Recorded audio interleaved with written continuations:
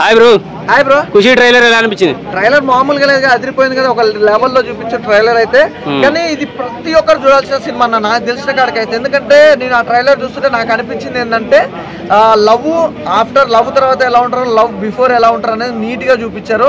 ఆ, పెళ్ళి తర్వాత కూడా వాళ్ళిద్దరి మధ్యలో క్రాషెస్ రావడం గొడవలు రావడం అనేది ఒక ప్రతి ఒక్కరి లైఫ్లో అనేది జరుగుతుంది. ఇప్పుడు ప్రేమించిన ప్రేమ వర్క్ అంటే ఇది ఏంటంటే మన పెళ్ళి అయితే ఎప్పుడైతే చేసుకో అంత ముందు మటుకు ప్రేమ అనేది ఉంటుంది. పెళ్ళి అయిన తర్వాత ఏంది? బాధ్యతలు. బాధ్యతలు పెరగడం వల్ల ఆ ఖర్చులు కానీ ఎవ్రీథింగ్ ఎవరి లైఫ్లో అయినా మనం ఇప్పుడు బయట చూస్తున్నాం. చాలామంది ప్రేమించుకున్న అమ్మాయి అబ్బాయి కానీ పెళ్ళి చేసుకొని ఆర్థిక ఇబ్బందుల వల్ల ఎంత ఇబ్బందులు పడుతున్నాయని తెలుస్తుంది.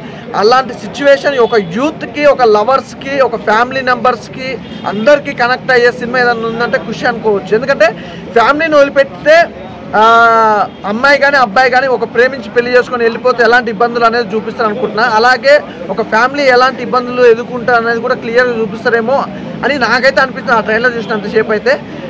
ఎలాగో సినిమా రిలీజ్ ఉంది కదా ఖుషి.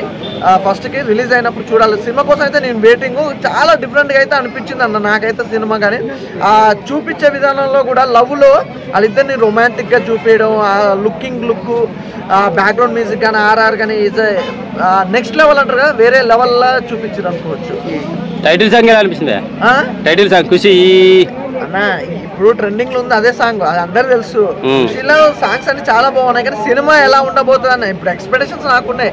అలా ఉండొచ్చు ఉండకపోవచ్చు సినిమా. అదే మెయిన్ అంతకు మించి అయితే ఏం లేదు కానీ ఒకవేళ ఎందుకంటే విజయ్ దేవరకొండకి లైగర్ సినిమా తోటి ఫ్లాప్ వచ్చింది.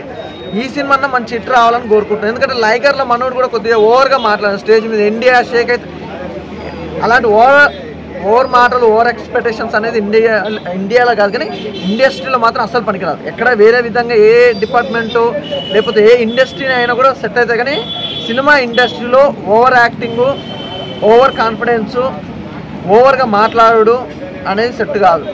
మనం ఎంత ఎదిగినా కూడా ఒదిగుంటేనే లైఫ్ అనేది ఉంటుంది. అదైతే ఖచ్చితంగా చెప్పగలుగుతాను. అదే అన్న. కానీ కృషి సినిమా కోసం అయితే వెయిట్ అన్న. Okay thank you